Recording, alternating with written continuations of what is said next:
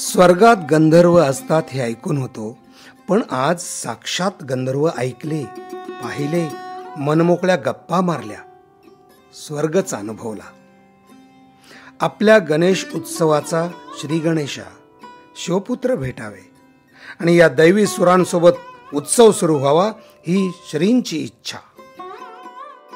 ऐकूया भेटूया. साक्षात गंधर्व पंडित मुकुल शिवपुत्र. हे असं व्यक्तिमत्व म्हणजे आम्ही स्वप्नात बघितल्यासारखं बघायचं नाही त्याच्या आधी. मी जेव्हा लहानपणी कॉलेजला होतो ना तेव्हा आम्हाला क्लासिकल समजत नाही मला सांगितलं मित्र माझा नुलकर्णाचा मित्र होता. तर मला कुमार गंधर्वांची नुसती निर्गुण भजनं लावायची. काय भानगडीतच पडायचं नाही समजायच्या. नुसती लावायची नाही ऐकत राहायचं. असं कित्येक दिवस ऐकत चाललं ऐकत ऐकत. आपल्याला भले त्याच्यातला हा राग आहे किंवा कुठल्या याच्यावर बेस केलं आहे किंवा काय स्वर आहेत. पण नंतर नंतर आपण एका नशेत जायला लागतो ना. तर ती योजना आलं. मग ह्यांच्याबद्दल कळलं मग त्यांच्याबद्दल. मग अजून मल्लिकार्जुन मनसुर असतील. आपण बऱ्याच गोष्टी मग ऐकायला लागलो पण ह्यांचे प्रोग्राम मी आतापर्यंत तीन बघितलेत. एका प्रोग्रामनंतर मी गगन बावड्यावरनं जी गाडी चालवली ती डायरेक्ट रवींद्र नाट्य मंदिरपर्यंत. रवींद्र नाट्य मंदिर. तिथं मला एक माणूस भेटला तो लखनौवरून आला होता. अरे म्हणले त्यांचा बाबा प्रोग्राम बघायला मिळणं फार अवघड आहे. मग मी लखनौवरनं माझा एक मित्र बघतो तर तो रेवदंड्यावरनं आला होता. आणि मग आम्ही ती ऐकायला बसलो होतो. आणि मग ते ऐकणं आणि ती म्हणजे असे पाचशे प्रोग्राम बघणं आणि यांचा एक प्रोग्राम बघणं. असं ते एक झालं होतं.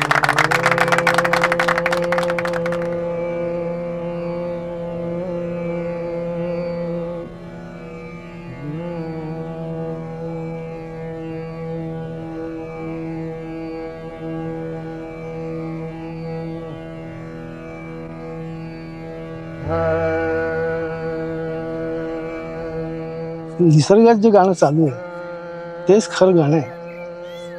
तेच हे झाडं ऐकत असतात ते ऐकवत असतात. कोकळी स्वतः येते की? मोर स्वतः येते. आणि त्यांनी स्वतःच आलं पाहिजे. तर आपल्याला झाडाची एक जात काढली पाहिजे. की बाबा ह्या जातीची माणसं पण खूप आहेत हा. चला इथं जर नाही ऐकलं ना तर लपड आहे. मग आपण सांगू शकतो की इतर लपड आम्ही अजिबात मान्य करणार नाही. एक झाड आमचं गेलं तर बघा याद राखा. म्हणजे इथं प्रजाती जास्त वाढल्या पाहिजे. पुढच्या पिढींसाठी सीड बँक तयार झाली पाहिजे. की इथं कुठल्या नसतील ते अरे रक्ताच्यांना सीड इथं मिळतील. हे बघा गुरुजींचे असते लावले आपण झाड इथं. हे. मग सांगितलं पाहिजे की हा त्याचा इतिहास आहे हे त्याच्या सीड्स आहेत असं आपल्याला सांगता आलं पाहिजे. झाडाच्या नावानं. तर नऱ्याची ही टेकडी गंधर्व टेकडी म्हणून ओळखली जाईल.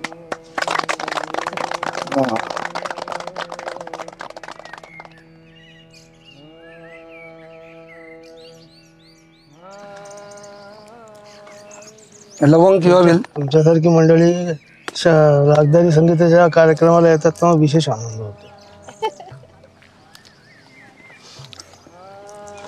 कसं आहे की मला असं वाटतं बरं की तुम्ही त्या दिवशी आलात ते इतके सहज आलात की अं, म्हणजे नेहमी स्क्रीनवर पण सहजच येतात ना. तसंच मला त्या दिवशी वाटलं सहज आले कसं मला असं वाटतं की जी एक जन्म किती आहेत मला माहिती नाही. पण ह्या जन्मात आलो आणि मला क्लासिकल मधलं नुसतं ऐकणं सुद्धा समजलं नाही पण एक एक मात्र आहे ते थिएटर जे असतात हम्म. त्याच्यामध्ये कोण कोण आले तर ते रॅपो एस्टॅब्लिश होत नाही हे आपल्या भारतीय पद्धतीचे जितक्या पण मैफिली होतात हॉल हॉलमध्ये. त्याच्यामध्ये एक इंटिमसी चांगली रॅपो एस्टॅब्लिश होतो आणि सर्वांच्या कारण याच्यामध्ये गिव्ह अँड टेक आहे. आणि सुजान प्रेक्षकांनी न कळणारे प्रेक्षक पण लक्षात येतात ना गाताना. हो. कुमार गंधर्वांचंच कुठेतरी एका एक हे आहे का? कुठेतरी रेकॉर्ड आहे. की ते मला रागाचं माहिती नाही. शंकर कुठला तो? ते गाताना कोणीतरी चुकीची दाद दिली ते हे गा गबास असं एक कुठेतरी रेकॉर्ड आहे काय असतात ना असे की जे न्यूसन्स ज्याला म्हणतो की जे आम्ही दाद देतो हे दाखवण्यासाठी दाद देतात. तर त्यांना बोलू शकतात वडिलांसारखे लोक आम्ही तर काही बोलत नाही कधी. किती वर्षापासून तुम्ही सुरू केलं होतं गाणं तर? काय हो स्वतःचा इतिहास काय विचार? नाही नाही म्हणजे इतकी वर्ष तुम्ही ते तप इतकी वर्ष म्हणजे आता किती एकाच ह्याच्यात राहणं? वसंतरावांनी देशपांडे साहेबांनी खूप प्रोत्साहन पण दिलं शिकवलं. कळलंच नाही की आपले गुरुस्थानी आहेत असं. अरे इतके ते मित्रत्वाने प्रेमाने वागायचे. स्वतःहून यायचे गाण्याला.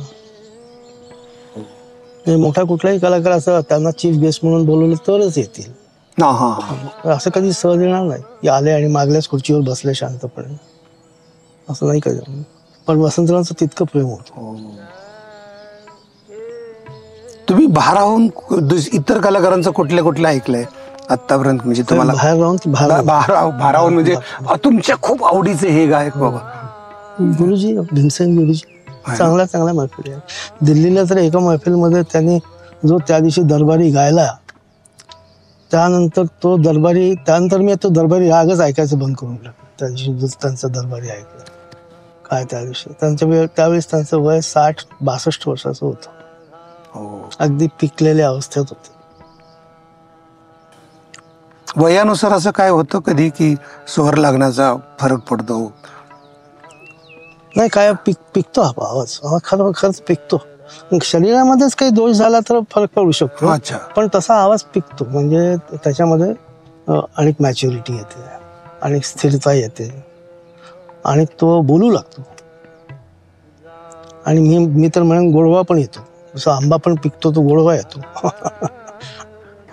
पण काय म्हणतात त्याला की असं काय डीएनए मध्ये असेल बीज. डीएनए मध्ये तर फार असतं. आहे ना?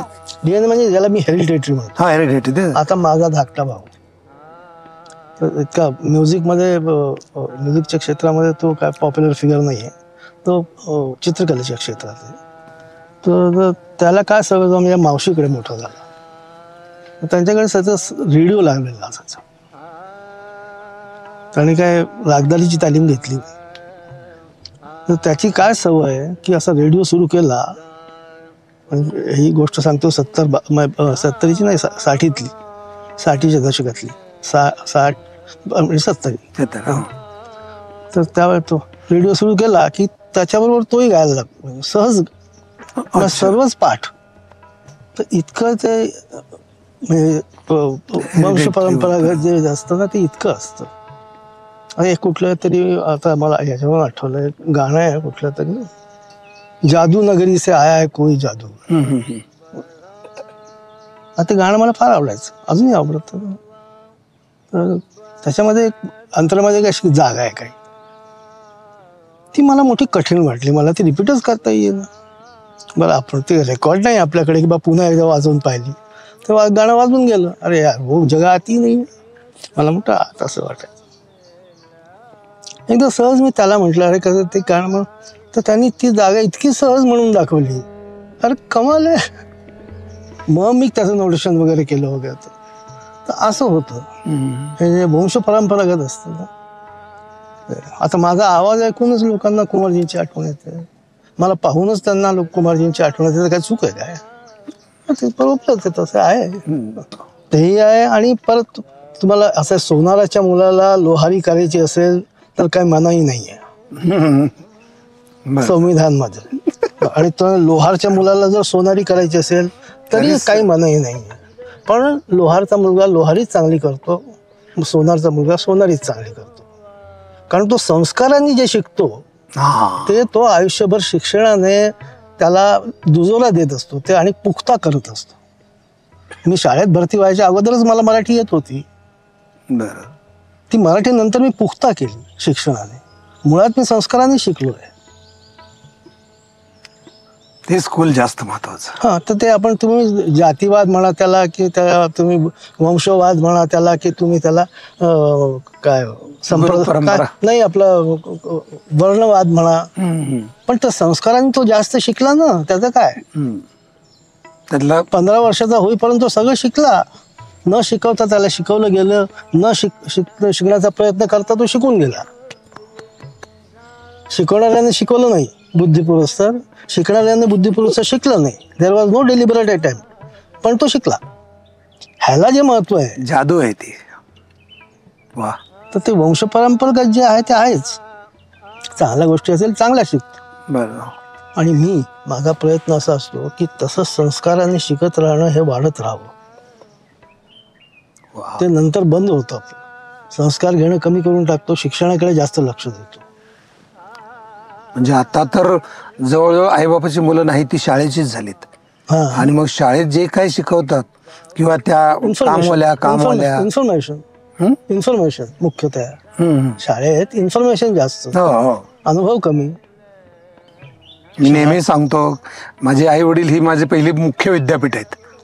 त्याच्यापेक्षा मोठी विद्यापीठ मला भेटलीच नाहीत. त्यात त्यात कुठे काही म्हणजे वादाचा प्रश्नच नाही. तर संस्कार हे फक्त आई वडिलांचेच होतात असं नाही. ज्यावेळी जे जे मोठे मोठे मोठे लोक घरात असतात येतात जातात त्यांच्यातून आपण शिकायला असतो. पण चांगलं शिकणं हे पंधरा सोळा वर्षाच्या आतच खरं. खरं खरं खरं शिकून घेतो. खरं म्हणतात म्हणतात की अडीच वर्षाच्या आयुमध्ये मुलगा जितकं शिकतो तेवढं आयुष्यभर शिकत पण ते नोंद झालेली नसते. डिग्री म्हणून हा.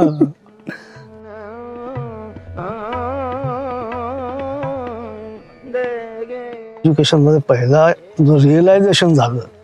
ते हे झालं की आपल्याला खरोखर जर एज्युकेटेड व्हायचं असेल तर आपण शाळा सोडली पाहिजे कॉलेजमध्ये तर अजिबात जाता कामा. तर मी शाळा अकरावीला सोडली आमच्याकडे हायर सेकंडरी अकरावी पर्यंत होतं. तर म्हटलं बाबा मी अकरावी प्रायव्हेट करतो. प्रायव्हेट फॉर्म भरता येतो हम्म. अभ्यास घरी करून परीक्षा देऊ शकता. नाही नाही, पण यांचं हे वाक्यच किती भारी आहे. तुम्हाला जर शिकायचं असेल तर पहिली शाळा सोडली पाहिजे. नाही नाही ते हे वाक्य हे वाक्यामशाला जोडून आणखी एक गोष्ट म्हणजे. आपलं आपण शाळेत जातो ते सगळी जी मुलं जातात त्यांचे आई वडील काय ते स्वतः काय? त्या शाळेचं नाव पाहून जात असतात. त्यांची चॉईस ती शाळा असते. पर्टिक्युलर विद्यालय असतं. ते मास्तराकडे पाहून जात नसतात. हा बाबा. ब्रँड बघतात. मी मास्तर पाहून गेलेलो आहे. हे. हा मला ह्यांच्या या व्यक्तीकडे शिकायचंय मग तो वल्लभ संगीत विद्यालयामध्ये बसतो की आणि कुठे त्यांच्या घरी बसतो दादर दादर माटुंग्याला. हा प्रश्न नाही आहे तो ऑपेरा हाऊसला बसतो का कुठे बसतो?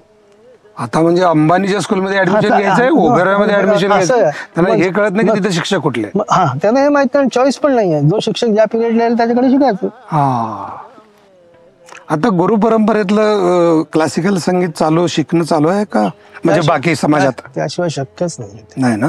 जे ते त्याच्याकडे दुर्लक्ष करतात ते शिकू शकत नाही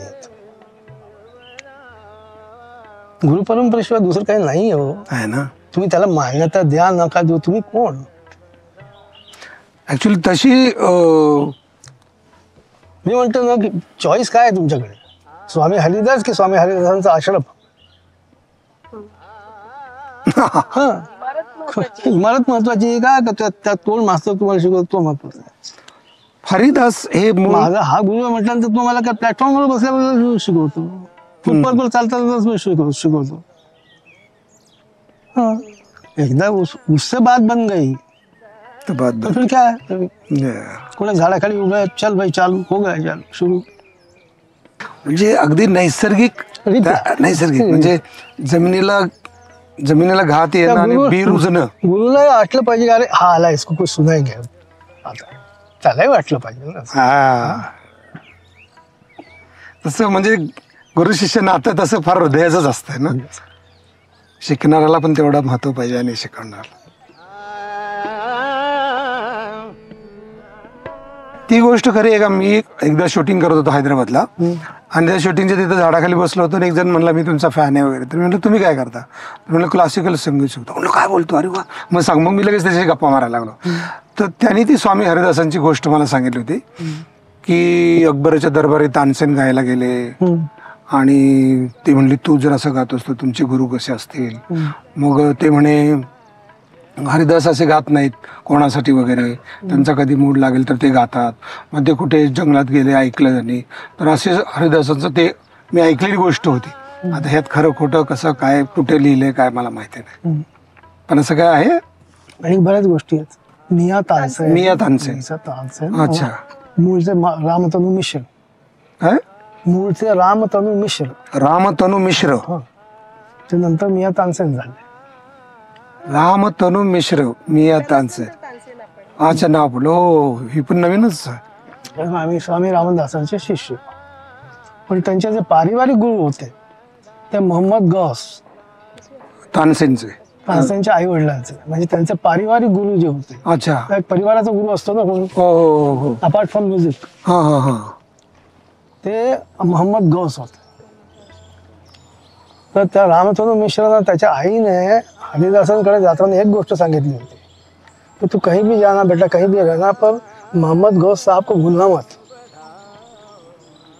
इथे आई वडील वारले तिथे स्वामी हरिदास गेले त्या मिया तानसेन त्यांचं कुठे जायचं म्हणून ते शेवटी मोहम्मद गौसकडे गेले.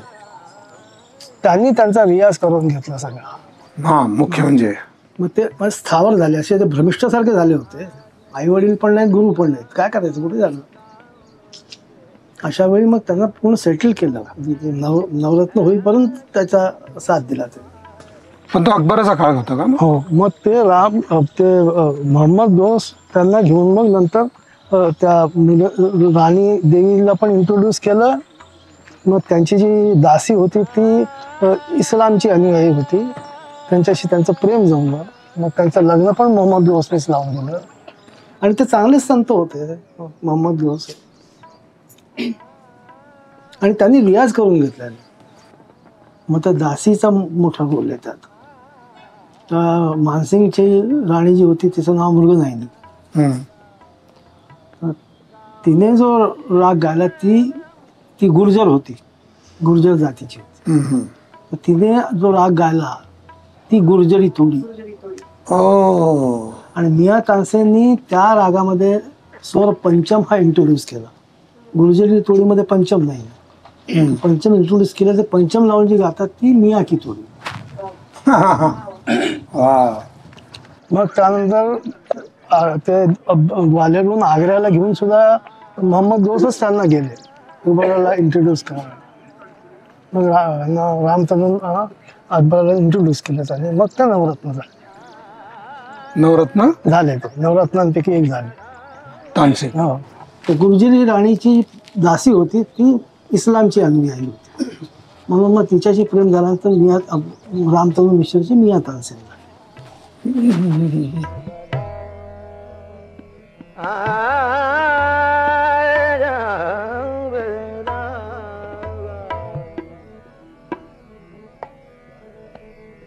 आ